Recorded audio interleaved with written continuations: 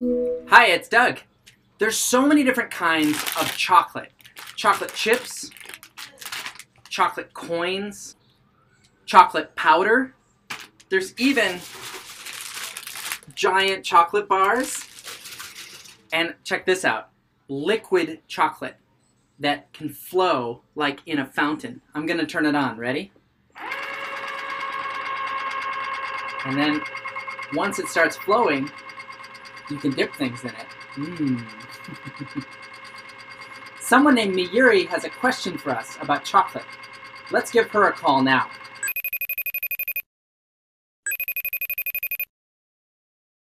Hi, Doug. Hi, Miyuri.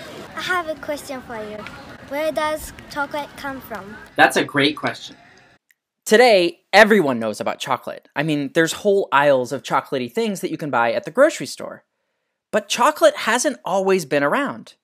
From reading about the history of chocolate, we know that there was a time when the only people who knew about chocolate were the people who lived here, in Central America.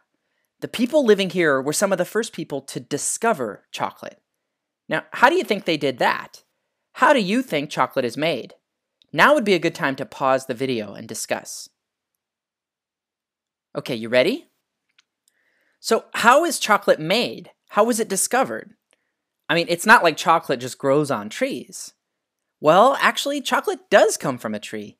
Not as candy bars growing on the branches, but from trees that have these really weird looking fruits that grow on the tree trunks like this. You can see that whatever these fruits are, they're colorful and they're shaped kind of like footballs. Here's one of these fruits up close.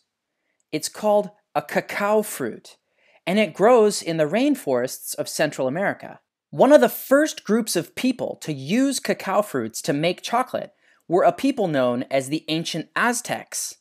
How do they make it? You might wonder, does it have something to do with what's inside of that cacao fruit? Like maybe if you cut open a cacao fruit, there's something chocolatey in there. But no, it's actually weirder than that. Inside of a cacao fruit actually looks like this. You'll find, look at that, a whole bunch of white colored slimy stuff.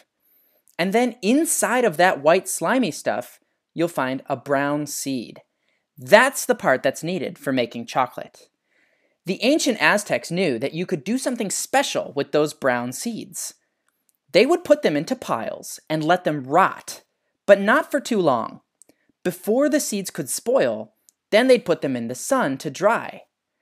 Then they'd grind it all up into a powder, like by mashing them with a stone.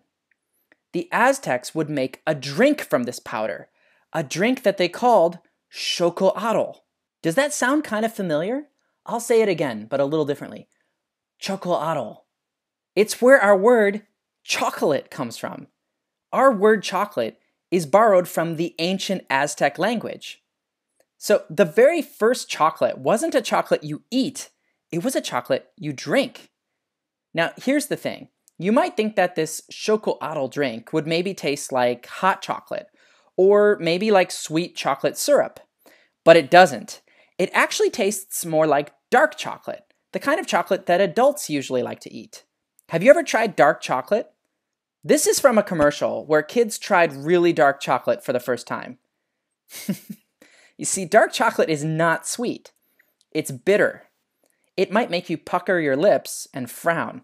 You'd probably have the same reaction to the Aztec drink. That's because the chocolate you're used to eating has a special ingredient in it. One ingredient that the ancient Aztecs didn't have this sugar. Sugar is the key ingredient for making chocolate taste sweet instead of tasting bitter. The more sugar you add, the sweeter the chocolate will taste.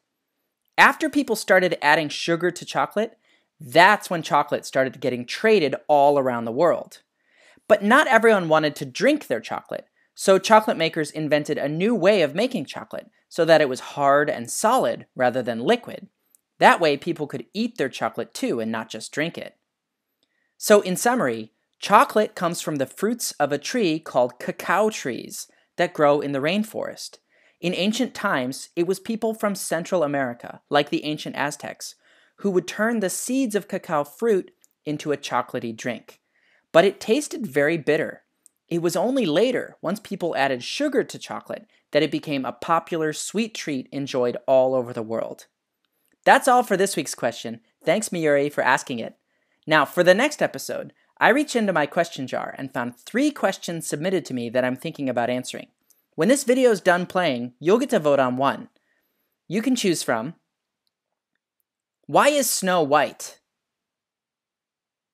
Does maple syrup really come out of a tree? Or how do coats keep us warm? So submit your vote when the video is over. I want to hear from all of you watching. There are mysteries all around us. Stay curious and see you next week.